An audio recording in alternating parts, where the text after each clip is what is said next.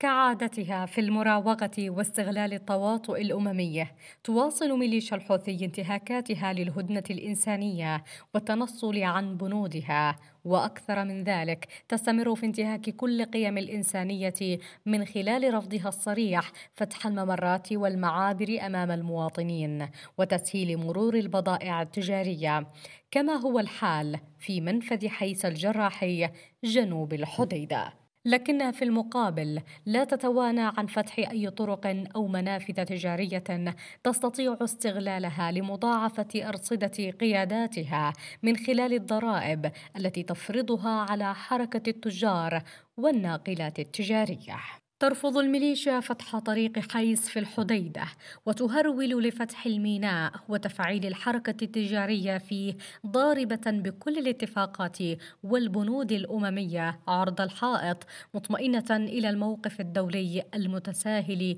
والمتراخي. وكيل أول محافظة الحديدة وليد القديمي طالب مؤخرا بعثة الأمم المتحدة لتنفيذ اتفاق الحديدة بفتح الممر الإنساني الرابط بين مديريتي حيس والجراحية الذي فتحته القوات المشتركة من جانب واحد.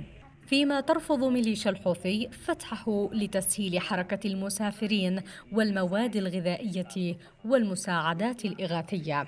مطالبة القديمي جاءت خلال استقباله نائبة رئيس البعثة الأممية لدعم اتفاق الحديدة فيفيان فان ديبيري التي زارت المناطق المحررة وعاينت المناطق المتضررة من هجمات الميليشيا واستمعت لشهادات الضحايا.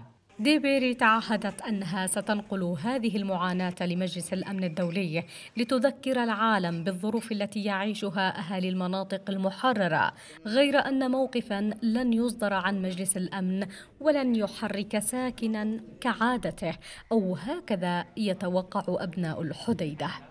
ومع استمرار ميليشيا الحوثي رفضها لفتح طريق إنساني تزداد معاناة الأهالي في الحديدة ومعها تزداد الكلفة البشرية من الأبرياء الذين يذهبون كل يوم ضحايا لألغام الميليشيا وانتهاكاتها دون منقذ أو سند.